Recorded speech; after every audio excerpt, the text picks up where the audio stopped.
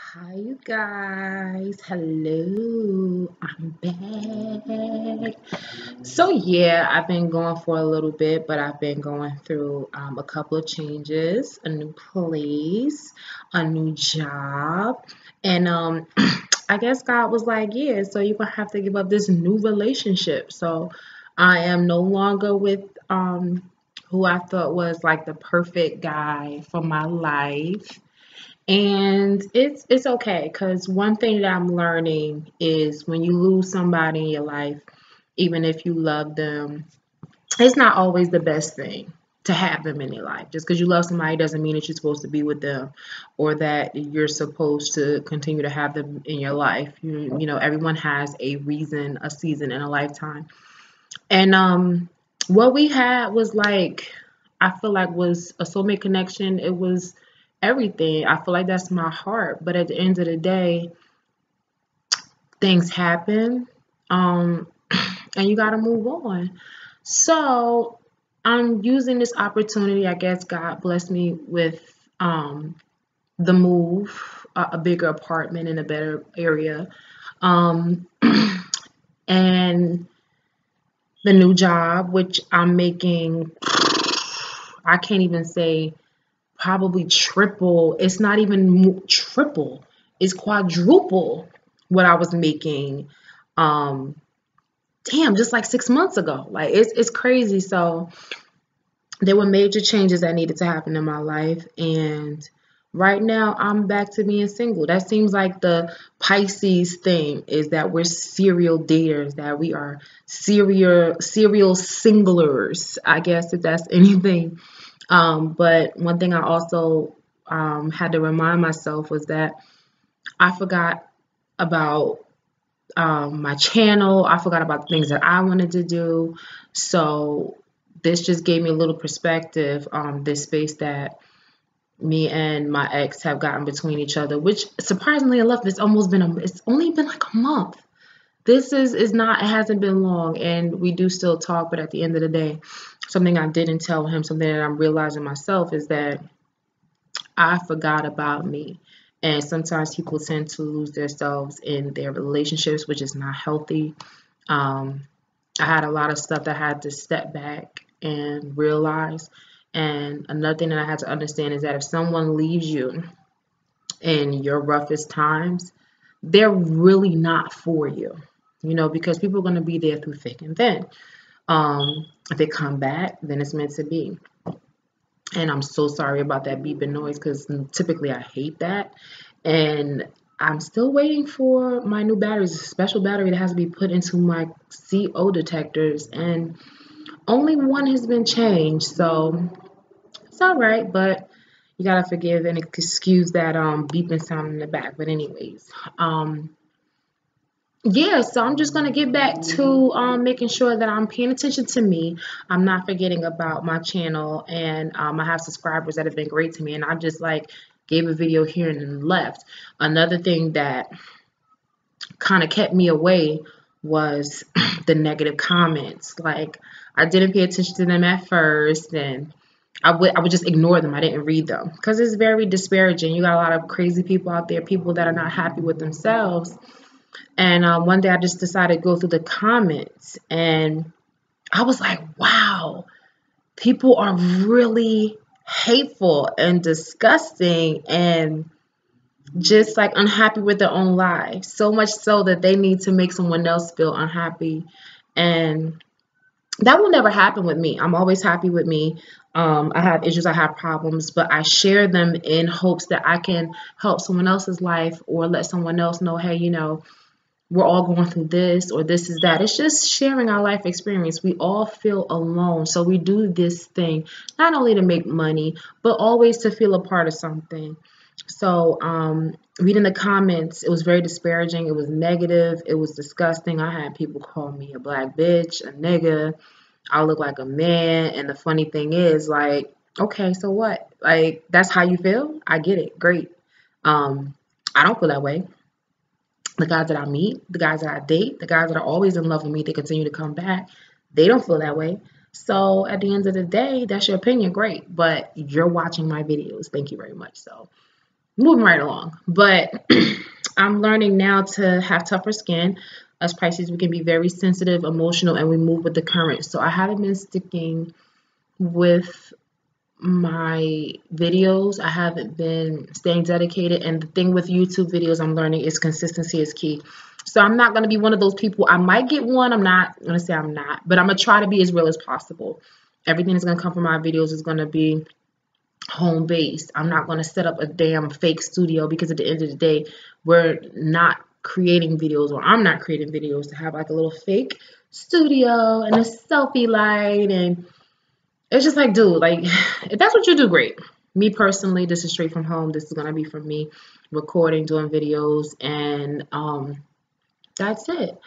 So i'm just happy to be back. I'm happy to be sharing my new life. I'm just gonna be you know just setting up everything and sharing with you guys and just what it's like to be single again. I hate it.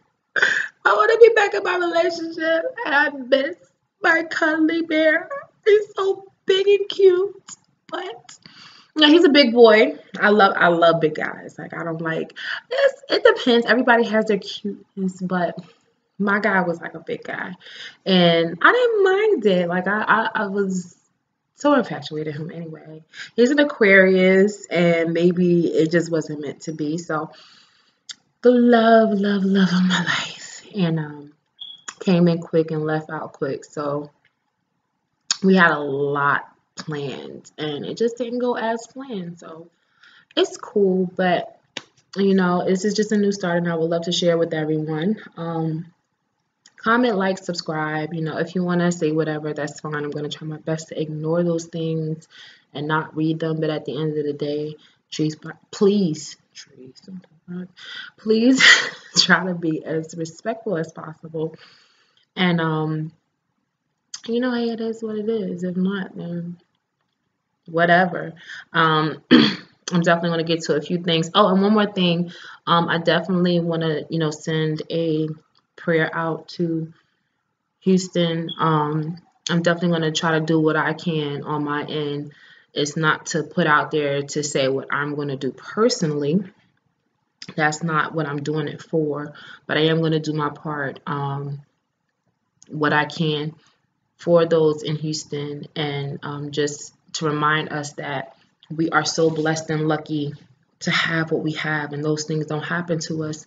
We need to definitely pray for those who are going through those issues and that are less fortunate and don't have the response time that FEMA and the government should. You know, um, any of these travesties, like, you know, um, with New Orleans, with Sandy Hook, with um, any of any of these things, Hurricane Sandy, we need to always pull in and be, you know, supportive as much as possible. My prayers go out. I'm definitely going to do my part, and I'm hoping that everyone else does. And um, just continue to stay, you know, thankful, prayerful, and mindful that we should be always thanking God and be appreciative for the things that we have. And that's it. So I'm probably going to do another video because I have a serious gripe about Joel Osteen. I'm so flabbergasted. But now that I'm really realizing, you know what's so funny? I watch his preaching, I watch his ministries, and every time I see him, I always see him by the podium. I always hear him talking about the word, and I'm like, something is missing. I be thinking like, okay, maybe it's a choir because you know I was raised in a black church. My mom was an evangelist. Um, now my sister is one. You know, we were literally like dang on near born in the church, and I'm just like, something's missing. Like whenever I watch Joel Osteen, like the words of encouragement are great, but it's like it doesn't feel. I don't feel like it's completely church the way he speaks he speaks like a motivational speaker that's what i was missing he speaks like he's Tony Robbins. And proof positive for me was that this man sends out a tweet, not even a video, a tweet, and says, um, me and Victoria's prayers go out to Houston. Dude, you're from Houston. Your church was built off of the people, the parishioners that take their hard earned money and come and believe in God and look for an answer from you, they help build that church. And you're not even opening the doors to people who have lost everything.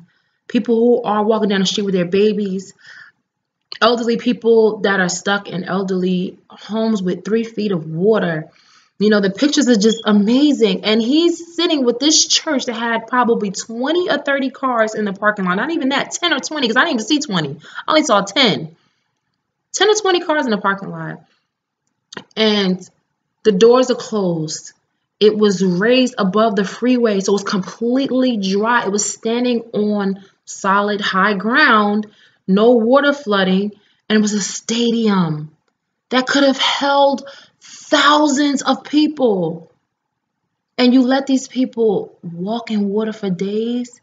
Jesus was the exact opposite of that. He gave up everything. And he told Matthew, he told his disciples, give up everything to walk with him, be his disciples, and, you know, preach the word of God and bring it to others. And you're supposed to be a preacher and you didn't even do something as simple as opening the church. The church is for the people. That's what the church is for. The money that goes into the church is to have shelter for those who are in need, who are sick, who need a place. Forget laws, forget, you know, citations and all that. You deal with all that later. That's what you have the insurance for and the money backed up and the lawyers and whatever, if if that's what you have it for. But you couldn't even open. People are saying, "Oh, we you don't know what he had to go." Stop, stop, stop, stop, stop. It's never about that. Yes, obey the laws of the land, but you couldn't even open your doors elderly people, babies, and you're going to send out a tweet? I have never been so disgusted in my life. And I'm completely against these televangelists like Joel Osteen. I used to follow Creflo when I was in Atlanta. When I heard him, you know, asking his parishioners to help him pay for a G6 private jet for him to fly in, not even to fly other kids or the church, just for him and his wife to fly in to go. I've got to be joking. Like, this is exactly the opposite of what is taught to us in the Bible and what Jesus was talking about. And you go and do this. Like, it's it doesn't even make sense to me. Joel Osteen, Creflo Dollar um, you know, I can't, you know, this Hillsong pastor, it's so, to me, it's very demonic. Like, it just reminds me of the stories that they warned us about when we were young about how this would come to pass and how soon enough that we wouldn't even be able to escape this evil, that evil would be the new norm, that we would no longer be a country of God, which we are slowly becoming. It used to be, you know, we stood up and pledged allegiance to the flag. Um, and it was all about God, and then they got that out the church. Now you're putting up rainbow flags, and not to say anything against anybody, because I love all my people. I'm not here to judge you. I'm not God. Your journey is your own. But to stop and put God out of the church, this to me kind of bred, um, it kind of bred the seed for us to be able to open the doors to have somebody as bold as Joel Osteen come out and don't even have a Bible on his podium. He just be talking about scriptures. He's not even going through the word with them. It's no Bible up there. People got to pay attention and stay vigilant. It says stay sober and vigilant. So, you know, those people that come in and rebuke him in his church is for a reason because they know they know that's not of God. That that is definitely not of God. And if anything has taught me, you know, if I wasn't sure before, I'm damn sure sure now. Like this, him not opening doors of that church for those people that were just walking in water with no place to go. If Jesus was here today, dude, like God bless him, but you know, I'm back, y'all. I will be doing my videos more consistently. I will be here every day. I will be reviewing. I will be doing all that I was doing before remaining sexy, single, and Lola. All right. So I will see you guys later. please don't forget to like, comment, and subscribe. And please start watching my boy um, Tyler's Tarot. He is amazing. That's my dude. But I'm going to talk to you guys later. Bye.